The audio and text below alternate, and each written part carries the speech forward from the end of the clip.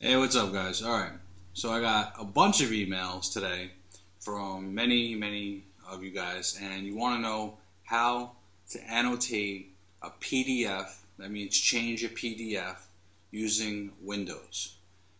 First of all, if you're using Mac, it's built in there. You click on the PDF, the preview comes up. Just select whatever you want to use, and it goes right to it. Now, if you're using uh, Windows, you're going to have a little bit more of a, a couple things you got to do, but it's very easy, it's free, and the things you can do with it are really, really simple. There's no reason for you guys to be freaking out. This is easy to do. I'm going to jump over to the other screen, and I'm going to show you exactly what you need to get and exactly what you need to do. It's really very easy. Okay, the other screen. First thing you're going to do, you're going to download, go to this website, Tracker Software Products. There's the uh, web address, and I'll put it in there for you guys as well. You're going to download this software. It's free and it's awesome. So you're going to download it, install it, have it working. Okay. What then will happen is once it's installed, you're going to open the PDF document and it's going to look like this. Here's the PDF document. Okay. We're going to want to change it. Simple.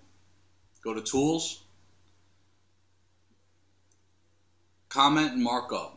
You can do anything you want. You can put stamp tools on it. You can put a sticky note, typewriter tools, what you're going to use. You can highlight things, make arrows, lines, ovals, shapes, you name it.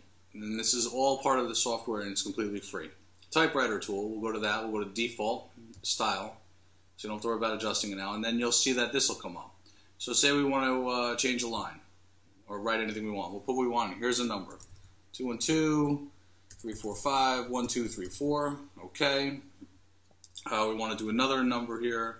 Let's see, uh, temperature 98, uh, pulse 98, you know what I mean? Blood pressure uh, 120 over 80, and so forth and so forth. And you'll just keep doing this and filling out the entire form, all right, until you get done with the form. And then all you got to do is you go up here and you click File, save, and that's it. And then you'll save it as a you know a PDF document, and you'll reattach it into the website, and you'll be good to go. The tools inside here are awesome, man. I mean, you could do this stuff like you can do crazy stuff. You got all these different stamps. You can you know put right here. You know, be like final. you know, you got really cool stuff in here that you can use. Um, you can do call outs. You can have like, you know, you can put an arrow to something. You can change something around. You know, you got the arrow tool, one of my favorite things to use. So you can just put an arrow like right here, you know, stick an arrow down there. So this is a cool piece of software that you can use that's easy to use. It doesn't cost you anything and will make doing, or excuse me, annotating PDFs very, very, very, very simple to do. So I hope that this has been helpful. Um, please, in the school thing, say if these videos are helping you out. I'd like to know if they're helping you guys out actually, because quite a few videos I've now posted. So, no reason to freak out. Follow my instructions exactly as I just told you what to do. Do the assignment. It's very, very simple assignment. Save the assignment as a PDF. Attach it in there.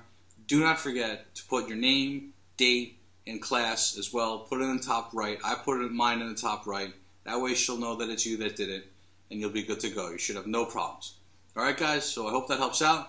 Everybody have themselves a good evening, and uh, I'll talk to you guys another time.